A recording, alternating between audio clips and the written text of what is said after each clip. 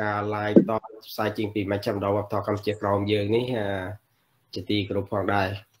អឺពិតទៅនៅក្នុងមេត្រាទី26នេះចែកជាងជា3ផ្នែកហ្នឹងដោយបងថេនធ្លាប់លើកឡើងកណាមេត្រាណាដែលមានកថាខណ្ឌច្រើនហ្នឹងមេត្រាហ្នឹងតែងតែគេអឺនិយាយពីសិទ្ធិជនជាតិដើមហើយទី2គេនិយាយពីការតម្រូវឲ្យរដ្ឋាភិបាលហ្នឹងត្រូវធ្វើអី អញ្ចឹងទេនៅទីនេះយើងចង់និយាយថាទី1ទី2វាអត់ខុសគ្នាទេគ្រាន់តែទី1បង្គូគាត់លើកឡើងហ្នឹងគឺសឹងតែអឺពិស្ដារណាស់ទៅហើយទី1ហ្នឹងគឺយើងនិយាយអំពីសិទ្ធិរបស់ជនជាតិដើមហ្នឹងដែលមានសិទ្ធិគ្រប់គ្រងនៅអឺអង់គ្លេសហៅថា resources ហ្នឹងធនធានធម្មជាតិធនធានដែលខ្លួនធ្លាប់បាន កាន់កាប់ពីដំណរចដូនចតាមកហ្នឹងវាមិន មិនត្រឹមតែដីធ្លីតែប៉ុណ្ណោះទេអឺរាប់បញ្ចូលទាំងមនុស្សមនុស្សជាតិហ្នឹងផងដែរមនុស្សជាតិហ្នឹងក៏ហៅថាធនធានមួយដែរណាមិនមែនតែដីធ្លីឬក៏ធម្មជាតិដែលមាននៅលើដីឬក៏ក្នុងដីនោះទេវាបូកបញ្ចូលទាំងមនុស្សជាតិដែលជាជាជាជាសាធារណជនដែលជាមនុស្សដែលមានរស់រានមានជីវិតសប្តាហ៍ដែលរស់នៅទីនោះណាក៏ហៅថា resources ដែ រនឹងភាសាអង់គ្លេសនេះគេបូកបូកបញ្ចូលទាំងអស់អញ្ចឹងហើយរដ្ឋាភិបាលវៀតណាមហ្នឹងគេមិនត្រឹមតែមិនចង់ឲ្យខ្មែរក្រមនឹងគ្រប់គ្រងនៅលើដែនដីដែលខ្លួនមានជារបស់បតលដែលខ្លួនខ្មែរក្រមនឹងអាចធ្វើបានឬក៏អាចគ្រប់គ្រងនៅលើដែនដីនោះតែប៉ុណ្ណោះទេ គេថែមទាំងបំពេញទៅលើមនុស្សជាតិដែលរស់នៅជាជនជាតិដើមហ្នឹងដែលហៅថា resources ហ្នឹងឯងនៅនៅក្នុងដែនដីនោះតែម្ដងចឹងខ្មែរក្រមរងគ្រោះជាច្រើនហ្នឹងមកអំពីយួនគេនឹកឃើញថាបើសិនឲ្យមនុស្សជាតិរស់នៅតទៅទៀតជាជាគេហៅថាឆ្អឹងទៅទឹងកគេចង់យកដីហ្នឹងក៏បាក់យកដែរ គេចង់យកធនធានដែលនៅក្រោមធម្មជាតិដែលមាននៅក្រោមដីឬលើដីហ្នឹងក៏គេបាក់យកដែរមកពីមានមនុស្សជាតិដែលជាជនជាតិរស់រវើកហ្នឹងនៅលើដីនោះអញ្ចឹងទេយ៉ាងណាមិញយួនគេតែងតែរកវិធីអឺកំចាត់មនុស្សគេហៅថាដូចមនុស្សការពារធនធានធម្មជាតិហ្នឹងគឺគេតកំចាត់មនុស្សហ្នឹងមុនណាគេកំចាត់មនុស្សហ្នឹងបានហើយទៅគេយកធនធានហ្នឹង អាហ្នឹងដំណើរការទី1គេធ្វើទៅតាមរបៀបសន្តិវិធីធ្វើយ៉ាងណាឲ្យខ្មែរក្រមមានការដោះដូរសប្តាហ៍នេះគេធ្វើយ៉ាងណាឲ្យខ្មែរក្រមមានការដោះដូរនៅចំណុចទាំងឡាយដែលជាធនធានធម្មជាតិដែលខ្មែរក្រមមានហ្នឹងគេធ្វើឲ្យខ្មែរក្រមហ្នឹងក្រកណាខ្មែរក្រមក្រគ្មានអីវាទៅដូរផ្លាស់នៅអាធនធានធម្មជាតិដែលនៅលើដី ជាពិសេសនៅលើដីស្រែដីចំការភូមិស្រុកគេអកដែលកូនខ្មែរក្រមមានហ្នឹងវាត្រូវបានអឺគេយកដោយការប្រើវិធានការផ្លាស់ប្ដូរទីមួយគេអាចប្រើវិធីទិញយកអីថោកថោកឬក៏គេប្រើវិធីសាសយ៉ាងណានោះដើម្បីធ្វើឲ្យខ្មែរក្រមនឹងអស់ទៅនៅធនធានធម្មជាតិនោះទី1ទី2ទៀតនឹងគេធ្វើឲ្យមនុស្សជាតិដែលជាធនធានធម្មជាតិសំខាន់ណា យើងហៅ resource ហ្នឹងវាបូករួមទាំងរបស់ទ្រព្យដែលអត់វិញ្ញាណនិងមនុស្សជាតិដែលរស់នៅលើដីនេះជាធនធានធម្មជាតិដែលមានវិញ្ញាណយើងនឹងគឺគឺជាមនុស្សជាតិហ្នឹងដែលជាធនធានធម្មជាតិមានវិញ្ញាណដែលរស់នៅទីនោះនឹងគេធ្វើយ៉ាងណាឲ្យខ្មែរក្រមនឹងអាចលងងខ្លៅបាត់បង់នៅការចេះដឹងទៅធ្វើឲ្យការតស៊ូនឹងវាកាត់បន្ថយ កាលណាគ្មានការចេះដឹងមនុស្សយើងកាត់បន្ថយនៅការតស៊ូឯងអញ្ចឹងនៅស្រុកខ្មែរគេមានពាក្យមួយថាអឺអឺក្លៀនក្លាវក្លៀនល្ងក្លាវក្លៀនខ្លាចខ្លាចណាកាលណាក្លាវក្លៀនខ្លាចពាក្យអាអសក្ល3ហ្នឹងគឺគេយ៉ាងណាមិញអាហ្នឹងជាជាអឺអឺរបាច់ ជាល្បិចរបស់យួននឹងឯងដែលគេប្រើនៅកម្ពុជាក្រោមនឹងតាំងពីឆ្នាំ1975ក្រោយពេលគេរំដោះមកហើយនឹងគេយកពាក្យហ្នឹងមកប្រើសឹងតែបានជោគជ័យនៅលើដែនដីកម្ពុជាក្រោមហ្នឹងហើយគេធ្វើទៅលើខ្មែរក្រមហ្នឹងតាំងពីលំដាប់ថ្នាក់ដែលអ្នកចេះដឹងរបស់ខ្មែរក្រមហ្នឹងយើងធ្លាប់បានលើហើយថាដោយលោកគឹមគូលើកឡើងអញ្ចឹងជាពិសេសដូចអ្នកស្នេហាជាតិខ្មែរក្រម អ្នកចំណេះចេះដឹងខ្មែរក្រមគ្រូបង្រៀនរបស់ខ្មែរក្រមអឺគ្រូឧបជារបស់ខ្មែរក្រមដែលឆ្លប់តែបង្រៀនហាត់នៅគុណខ្មែរនៅតាមវត្តអារាមនានាហ្នឹងគេបាននាំពួកហ្នឹងទៅរៀនសូត្រហើយអ្នកខ្លះទៅដោយអង្គលើកឡើងមកអញ្ចឹងគុណគុណទុកជើងទៅរៀនសូត្ររហូតដល់គេសម្រាប់ធ្វើគាត់លោកហើយក៏យកមកហ្នឹងក៏គ្មានសោះជំងឺចិត្តអីទេនេះជាវិធីយួនហ្នឹងគេធ្វើ យ៉ាងណាឲ្យខ្មែរក្រមហ្នឹងគឺថាទុនធានដែលជាមានវិញ្ញាណហ្នឹងឲ្យអស់ទៅទៅគេងាយស្រួលក្នុងការយកទុនធាន ដែលគ្មានវិញ្ញាណហ្នឹងអញ្ចឹងសំខាន់កតាមេត្រាទី26ហ្នឹងសំខាន់ខ្ញុំដោតអារម្មណ៍ទៅលើការងារដែលយួនគេធ្វើមកលើខ្មែរក្រមហ្នឹងគឺគេធ្វើទៅលើដែនដីដែលខ្មែរក្រមមានហ្នឹងគេធ្វើឲ្យខ្មែរក្រមហ្នឹងក្រមុនសិន អញ្ចឹងមិននឹងគេធ្វើឲ្យខ្មែរក្រមក្រហ្នឹងគេធ្វើឲ្យខ្មែរក្រមហ្នឹងអស់នៅដីធ្លីទាំងឡាយហ្នឹងឯងរបស់របរដែលធ្លាប់គ្រប់គ្រងដោយខ្មែរក្រមតាំងពីបុរាណកាលមកតាំងពីដូនតាមករាប់ពាន់ឆ្នាំមកហើយហ្នឹងគឺគេធ្វើខ្មែរក្រមសប្តាហ៍ហ្នឹងគ្មានអ្នកណាមានដីធ្លីអីធំដុំទៀតទេសប្តាហ៍ហ្នឹងអស់ទៅហើយសូម្បីតែក្រុមគ្រួសារខ្ញុំហ្នឹងនិយាយដោយឡែកហ្នឹងគឺមានរាប់រយហិកតាឯណោះ មានន័យថាយួនគេវាស់ទៅតាមកង់ដីហ្នឹងមកកង់1000ម៉ែត្រការ៉េហ្នឹងមាន100 200កង់ដីឯណោះឥឡូវហ្នឹងនៅសល់តែ4 5កង់ដីហ្នឹងគឺវាសិនតែមិនមានផងអញ្ចឹងគេធ្វើឲ្យខ្មែរក្រមហ្នឹងអស់ធនធានដែលគ្មានវិញ្ញាណហ្នឹងអស់ហ្នឹងខ្មែរក្រមក្រហើយហើយយើងក្រមានស្អីក្របាត់បង់នៅអាការឲ្យកូនចៅហ្នឹងមានលុយកាសទ្រព្យសម្បត្តិទៅរៀនសូត្រដើម្បីចេះដឹងកណាក្រគឺ បាត់បង់នៅការចេះដឹងគឺខ្លាយទៅជាអ្នកល្ងងខ្លៅហើយតើល្ងងហើយយើងខ្លាចទេអាហ្នឹងចំណុចដែលខ្ញុំលើកឡើងហ្នឹងខ្ញុំចង់ផ្ដោតអារម្មណ៍ទៅលើថាខ្មែរយើងសប្ថ្ងៃហ្នឹងអាចចំណុចហ្នឹងយើងត្រូវប្រយ័ត្នប្រយែងមែនទេទី1យួនសប្ថ្ងៃហ្នឹងគេកំពុងតែដើរដល់ចំណុចមួយគេធ្វើឲ្យខ្មែរក្រមហ្នឹងអឺទៅជ្រកក្រោននៅកន្លែងទីតាំងផ្សេង ណាជាពិសេសកូនខ្មែរយើងមួយចំនួនហ្នឹងត្រូវបានចម្លៀសខ្លួនហ្នឹងជីងចាកពីដែនដីដែលខ្លួនធ្លាប់មាន ជាគេអករបស់ឪពុកម្ដាយហ្នឹងគឺបានចាក់ចោលស្រែចម្ការអស់ហើយទៅនៅព្រៃនគរហ្នឹងទៅរស់ស៊ីតាមរបៀបគេហៅថាធ្វើអាជីវកម្មទៅតាមអឺរោងចក្រនានាហ្នឹងធ្វើឲ្យយើងហ្នឹងបាត់បង់ការគិតការគូពីធនធានធម្មជាតិដែលខ្មែរក្រម ធ្លាប់តែអាស្រ័យផលលើនោះឥឡូវទោះបីយើងអាស្រ័យផលបានក៏ដោយក៏វាយួនហ្នឹងគេធ្វើវិធីមិនឲ្យយើងលុកជីងតំណែងទាំងឡាយដែលជាស្រោឬក៏វត្ថុធនធានដើមដែលយើងផលិតបានហ្នឹងយកជីងទៅលុកដើម្បីឲ្យបានផលចំណេញមកក្រុមគ្រួសារខ្មែរក្រមហ្នឹងវាអត់មានទេអញ្ចឹងទេយ៉ាងណាមិញអាហ្នឹងជាវិធីមួយបងប្អូនត្រូវពិចារណាឲ្យដិតដល់មែនទេការងារដែលយួនធ្វើហ្នឹងធ្វើវិធីឲ្យយើងឃើញថា សប្តាហ៍នេះយើងកំពុងតែមានទីតាំង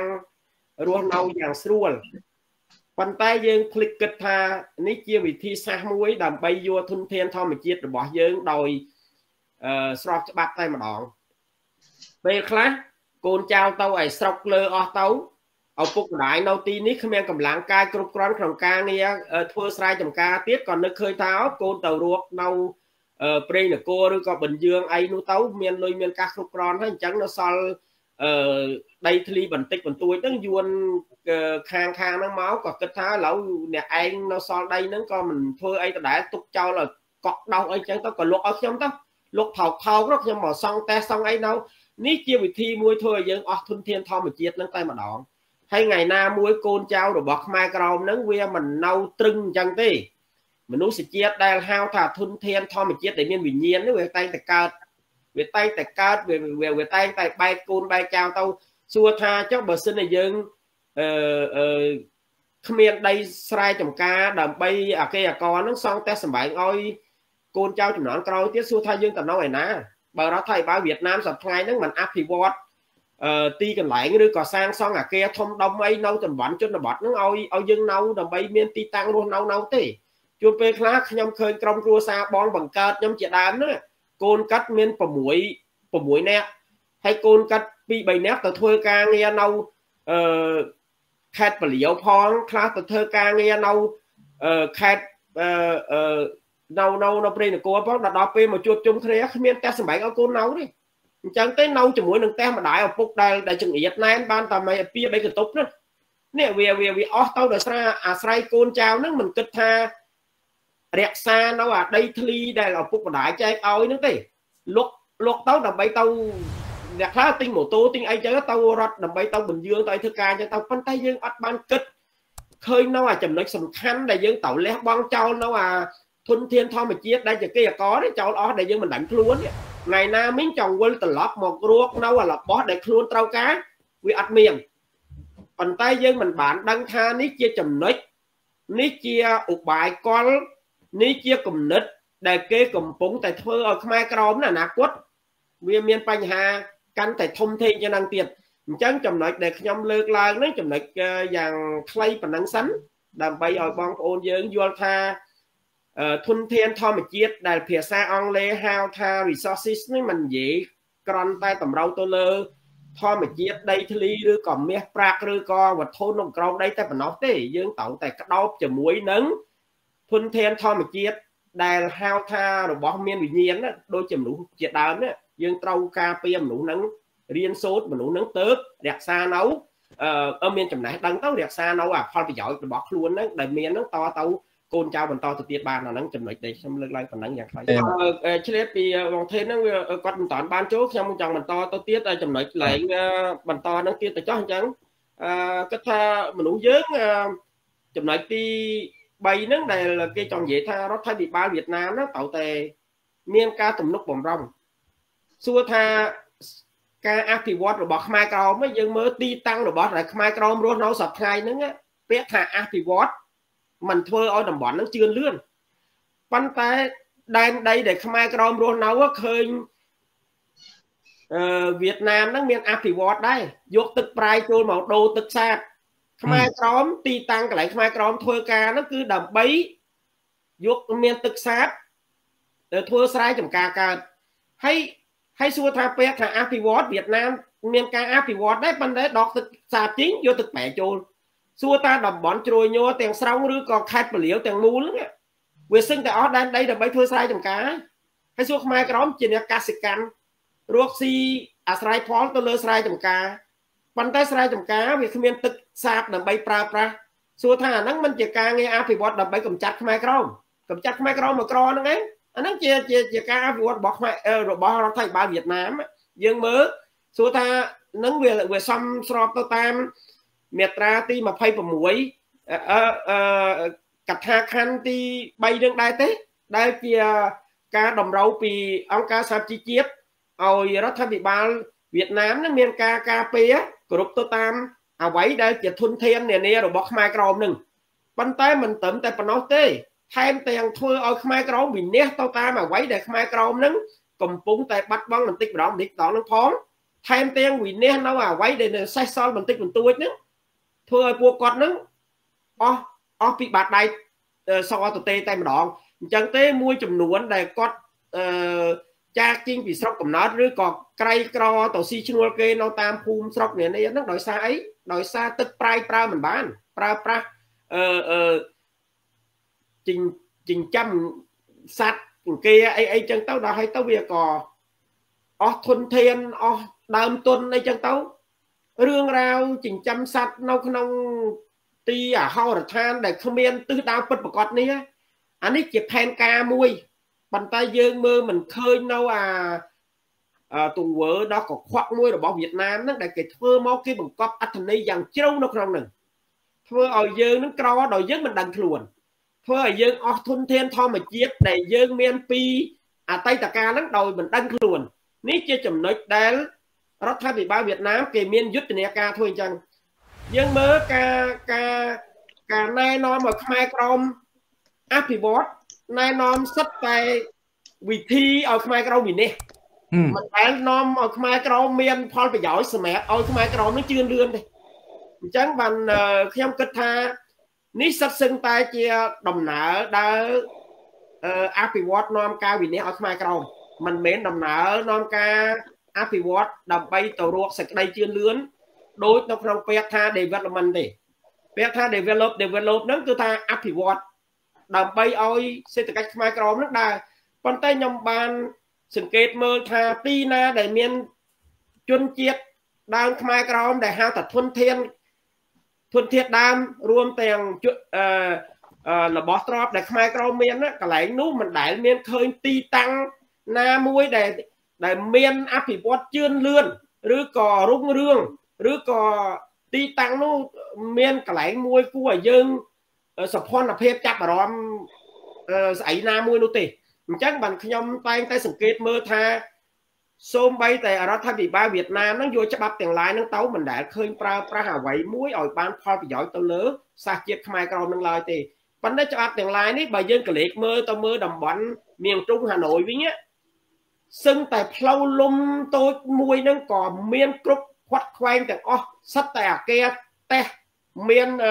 សាងសង់ពីបឿងថ្មគ្រប់ទីតាំងគ្រប់ច្រកលហកគ្រប់កន្លែងទាំងអស់ អត់មានតែស្លឹកតេះអឺស្លឹកចេកស្លឹកចាកដូចនៅកម្ពុជាក្រមសប្តាហ៍នឹងទៀតទេហ្នឹងអញ្ចឹងហើយបានគេគេយកច្បាប់នេះគេទៅតែអភិវឌ្ឍដើម្បីឲ្យជនជាតិគេរុងរឿងហើយរីកចម្រើន តែចំពោះខ្មែរក្រមយើងវិញនៅដែនដីកណ្ដោសន្លេមេគង្គនេះយើងមើលរហូតពីពីពីពីពីព្រៃនគរចោលទៅខាងក្រោមយើងគ្មានកន្លែងណាមួយដែលហៅថាអភិវឌ្ឍទាំងអស់អញ្ចឹងទេចំណុចនេះខ្ញុំចង់ឲ្យបងប្អូនខ្មែរក្រមយើងសូមកលេចមើលហើយពិចារណា នៅចំណុចដែលយួនកំពុងតែអភិវឌ្ឍនាំខ្មែរក្រមទៅរកសេចក្តីវិន័យហ្នឹងឯងអញ្ចឹងកណាជូនប៉ុណ្ណឹងដើម្បីឲ្យមានការចូលរួមពីបងថេនខ្លះដែរ